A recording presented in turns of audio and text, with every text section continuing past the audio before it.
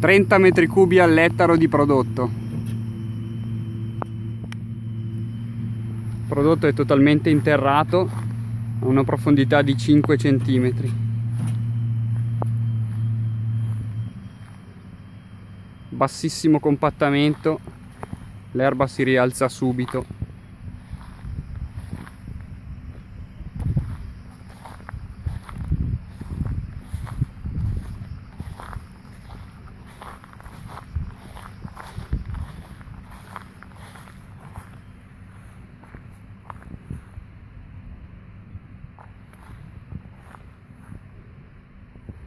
C'è solo l'effetto erba schiacciata il terreno non subisce nessuna deformazione